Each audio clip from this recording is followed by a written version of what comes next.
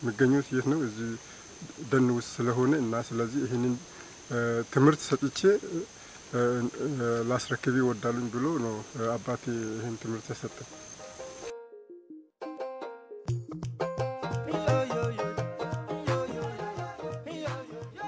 ማጃንጎች በተፈጥሮ ከደን ከሚሰበሰቡ ምግቦች በተጨማሪ በቤታቸው ዙሪያ ለምግብነት የሚያገለግሉ የተለያዩ ሰብሎችን ያለማሉ። ማሳቸውን ታዲያ ለብዙ ዓመታት በተደጋጋሚ አያርሱትም። መሬትን እያሳረፉ ማረስ ለምርትና አፈር ጥበቃ አስተዋጽኦ እንዳለው ማጃንጎች ለትውልድ ሲቀባበሉ የኖሩት ነባር ዕውቀታቸው ነው። እርሻ ከታረሰም አባቶቻችን በሽፍት ነው የማደርጉት። እዚህ ይሰራል፣ እዚህም ይሰራል። አንድ ሁለት ዓመት እዛ ይቆያል፣ ሁለት ዓመት ወደዚህ ይመጣል። በዛ angle ነው ደኖች የሚጠበቁት። ደኑ ለማጃንግ የኢኮኖሚ ምንጩ ብቻ አይደለም፣ አበይት ማህበራዊ ክንዋኔዎች መፈጸሚያም እንጂ። የተከበረ ቦታ አለ። ይሄም ማለት ምንድን ነው? ትልልቅ ሰዎች፣ አዛውንቶች፣ ሽማግሌዎቹ ነው እዛ ቦታ ያ የተከበረ ቦታ ጋር ይሆናሉ። አንድ ሰው ችግር ተፈጠረብኝ ተበደልኩኝ ብሎ ቢል እንኳን እዛ ቦታ ሂዶ ነው ያንን በደሉን ለነዛ ሰዎች ይነግራል።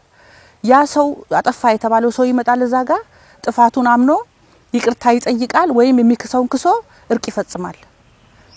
ይሄ ነው አሁን ከዚህ በፊት በነበረው የማጃንግ ባህል ከደን ጋር ያለው ቁርኝት ከባህሉ ጋር ተያያዥነት ያለው የአኗኗር ስርዓቱ የእርቁ የግጭት አፈታቱ ሁሉም ነገር ተያያዥነቱ ነው ሲያስቀጥል የነበረበት ሂደት ይሄ ነው። የሀገራችን ነባር ሃይማኖቶች ለደንና ውሃ አካላት ልዩ ከበሬታ አላቸው። የአምልኮ ቦታዎች ብዙውን ጊዜ በዛፍ የተከበቡና በደን የተሸፈኑ ናቸው። ይህ እውነት በማጃንግ የጥንት እምነቶች ውስጥም የሚንጸባረቅ ነው። በጥንቱ የማጃንግ እምነቶች መሠረት በደን ውስጥ ከሃይማኖት አባቶች በስተቀር ሌላው እንዳያያቸው ያልተፈቀዱ የተከበሩ ምስጢራዊ የአምልኮ ቦታዎች ይገኛሉ። በጥንቱ የማጃንግ እምነቶች መሠረት በደን ውስጥ ከሃይማኖት አባቶች በስተቀር ሌላው እንዲያያቸው ያልተፈቀዱ የተከበሩ ምስጢራዊ የአምልኮ ቦታዎች ይገኛሉ። ተራው አማኝ ወደዚህ ቦታዎች ለመቅረብ ቀርቶ እዚያ ጋ ናቸው ብሎ በእጁ ለማመልከት እንኳን አይደፍርም። ይህም ለደኑ መጠበቅ አስተዋጽኦ ያደረገ የባህላዊ ሥርዓት አካል ነው።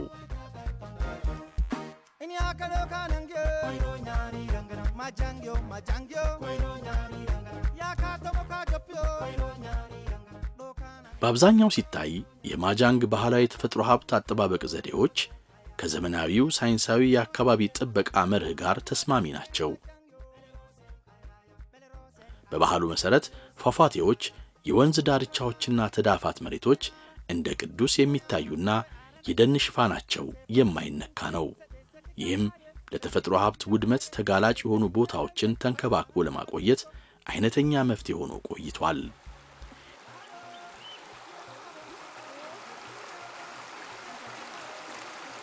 የማጃንግ ባዮስፊር የበርካታ ወንዞችና ምንጮች መነሻ ነው። ወንዝና ምንጮቹ አልቤሮ፣ ጊሎና አኮቦ ለመሳሰሉ ትላልቅ ወንዞች ገባሪዎች ናቸው። እነዚህ ትላልቅ ወንዞችም የነጭ አባይ ገባሪ በመሆናቸው የአካባቢውን ደን ለተፈጥሮ ሀብት ጥበቃ ያለውን ዋጋ ድንበር ተሻጋሪ ያደርገዋል።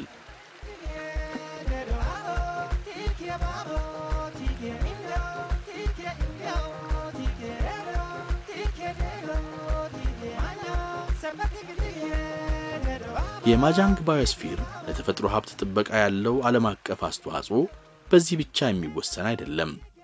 ሩብ ሚሊዮን ሄክታር ያለበሰውን ደን ከከባቢ አየር ላይ የካርቦን ጋዞችን በመምጠጥ የአየር ንብረት ለውጥን ለመከላከል የድርሻውን እያበረከተ ይገኛል።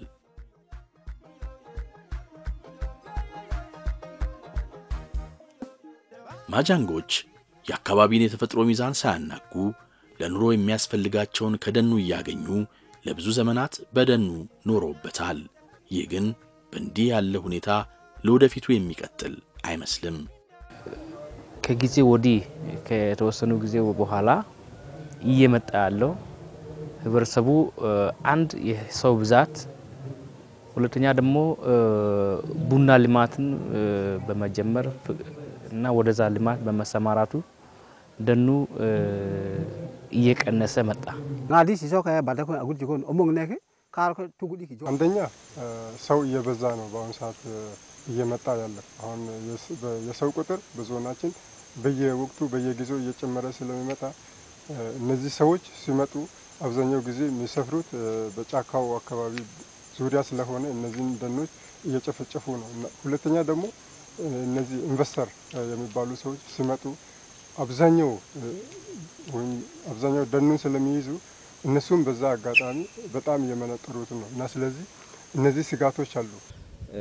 አሁን ከህዝብ ብዛት እና ከፍላጎት መጨመር ጋር ተያይዞ ምናልባት ከዚህ በፊት የተጠበቁ የነበሩ ቦታዎች እንደ በፊቱ የማይጠበቁበት ሁኔታ እየተፈጠረ በመሆኑ ማህበረሰቡን ግንዛቤ በማስጨበጥ አካባቢዎች እንዲጠበቁና ለልማት የምናውልባቸው መንገዶች ህዝቡም ደግሞ ከዛ ተጠቃሚ የሚሆንበትን መንገድ በቀጣይነት በምርምር በማስደገፍ ጥናት በማድረግ ከህዝቡ ጋር በማወያየት እንዲህ አይነቱ ህግ የህግ ማዕቀፍ በማዘጋጀት መሰራት ያለበት ይመስለኛል። ህዝብ ቁጥር መብዛት የተነሳ በአሁኑ ጊዜ በጫካው ላይ የመጣው ፕሬዠር አለ ወይ ደግሞ ጫካውን ዛፉን የመቁረጥ ጣውላ የማውጣት የጫካዎችን መንጥሮ የቡና እርሻ ማስፋፋት፣ ሻይ ቅጠል እርሻ ማስፋፋት፣ ቅመማቅመምን ፍለጋ ጫካ ውስጥ ገብቶ ጫካው መመንጠር፣ በጣም ብዙ ዘርፈ ብዙ የሆኑ ሂደቶች አሉ። እነዛን ነገሮች እንግዲህ ለማቆየት ስንል እኛ ህብረተሰቡን የመጀንግን ህብረተሰብ ወይ ነባር የምንለውን ህብረተሰብ ከአሁኖቹ ህብረተሰቦች ጋር የግንዛቤ ማስጨበጫ ስራዎች እየሰራ እንገኛለን።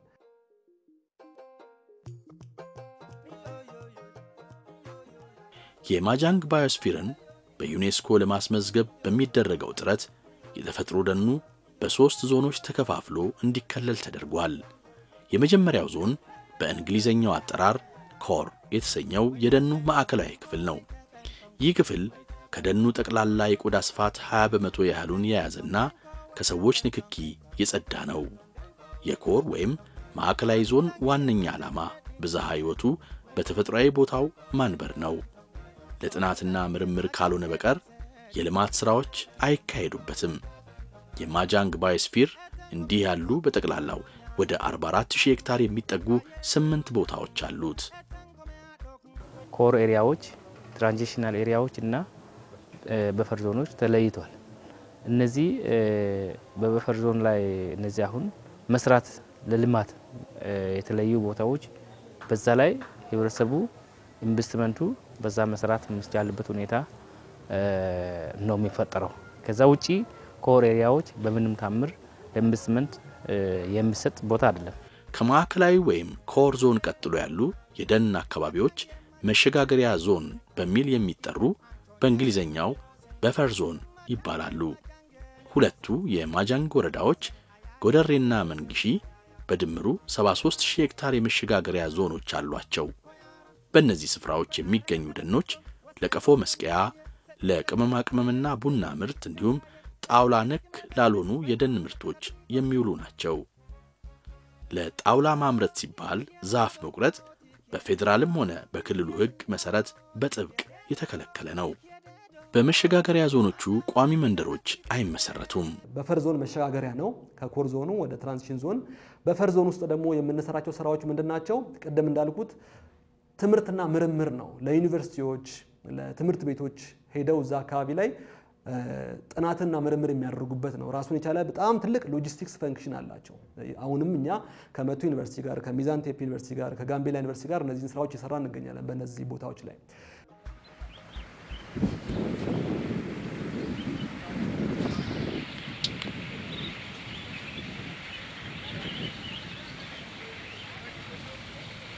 ሶስተኛ የደኑ ክልል transitional ወይም መተላለፊያ ዞን በሚል የተለየ ነው።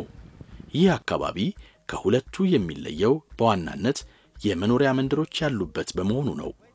ይህ የደኑ ክፍል አካባቢ ጥበቃን ያገናዘበ ዘላቂ ልማት ይካሄድበታል ተብሎ የሚታሰብ ነው። እስካሁን እየሰራን ያለ ነው አንድ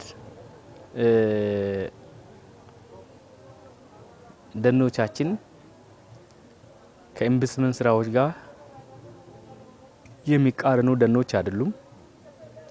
ነገር ግን አሁን መስራት ያለባቸው ነገሮች አንደኛ ህብረተሰቡ በተስማማበት መልኩ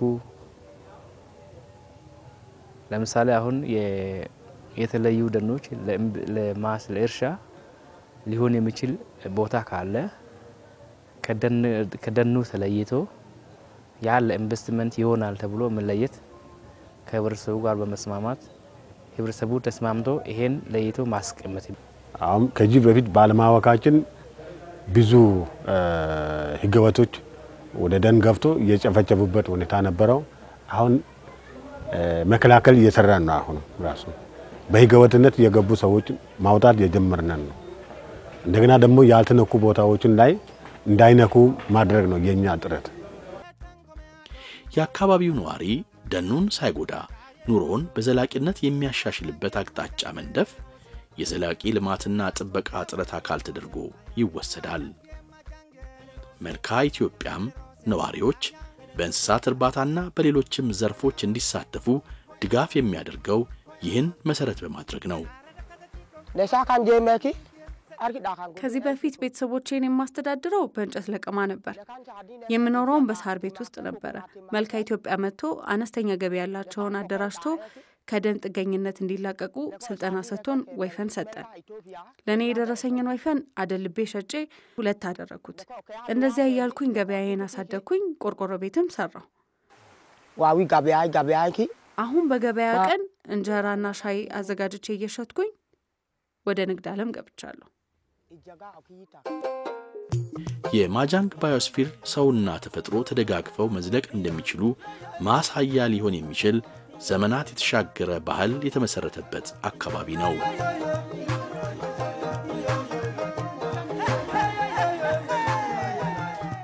ቀጣይነት ያለው ልማትን ለማረጋገጥ ማህበረሰቡ ውስጥ ያለው እውቀት ወሳኝ እንደመሆኑ የሰውና ባዮስፊር ሰዎች አካባቢያቸውን እንዴት ነው የሚጠብቁት?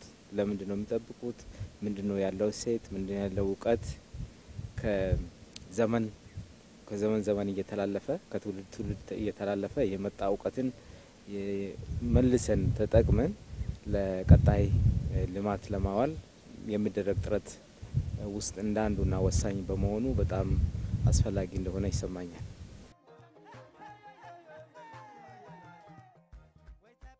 ከ1960ዎቹ ጀምሮ የሥነ እጽዋት ተመራማሪዎችን ትኩረት መሳብ የቻለው የማጃንግ ባዮስፊር ከማኅበረሰብ እስከ ተፈጥሮ ሳይንስ ድረስ ልዩ ልዩ ጥናቶች ለማካሄድ የሚያስችል አቅም ያለው ነው። የዓለም አቀፍ ዩኒቨርሲቲ አካላቶች ይመጣሉ። ለምሳሌ እንደ ቤልጅየም ድርጅቶች አሁን ቢንኮ የሚባል ድርጅት መጥቶ ሲያጠና ነበር በሸካ ባዮስፊር። ልክ እንደዚህ አይነት ጥቅሞች አሉና ህብረተሰቡ ያለውን ሀብት ዘላቂ በሆነ ለነገ ትውልድ ለነገው generation የሚተላለፍ ሂደት መጠቀም እንዲችል የሚያደርግ ትልቅ የሆነ ሂደት ነው የ biosphere reserve እና ያን ጥቅም ነው የሚያገኙት። መልካ ኢትዮጵያ ሰኚ የተሰኘ ትምህርታዊ የጉዞ ፕሮግራም በማካሄድ ቦታው ለስልጠና ያለውን አቅም አሳይቶበታል። በዩኔስኮ በመልካም ተሞክሮነት የተመረጠው የመልካ ኢትዮጵያ ሰኚ ፕሮግራም ወጣቶች ከአባቶችና በባህላዊ የእውቀት ቅብብል ዘዴ መሠረት ልምድ እንዲቀስሙ የሚያስችል ነው። በደን ውስጥ ለተወሰኑ ቀናት ቆይታ የሚደረግበት የሰኚ ፕሮግራም ተሳታፊዎች ከተፈጥሮም ከራሳቸውም ጋር በቅርበት የሚገናኙበት ነው። የተለያዩ ትምህርት ቤቶች፣ የተፈጥሮ ክበባት የሰኚ ፕሮግራም አባል በመሆን የተፈጥሮ እንክብካቤና ጥበቃ ግንዛቤ በማስፋፋት ላይ ይገኛሉ። በማጃንግ ዞን ዋና ከተማ ሜጢ የሚገኙ የሰኚ ፕሮግራም አባል የሆኑ ተማሪዎች ባዮስፊሩ ከተመዘገበ በኋላ ለሚከናወኑ ተግባራትም እንደ አንድ አቅም የሚታዩ ናቸው። የማጃንግ ባዮስፌርን ለማስመዝገብ የተቋቋመው ግብረ ኃይል ጥያቄውን ለዩኔስኮ በሰነድ አስደግፎ ልኳል። ምላሹ በዚህ ዓመት ይጠበቃል። ማጃንግ ሲመዘገብ ኢትዮጵያ በዩኔስኮ ያስመዘገበቻቸው የባዮስፌሮችን ብዛት አምስት ያደርሰዋል።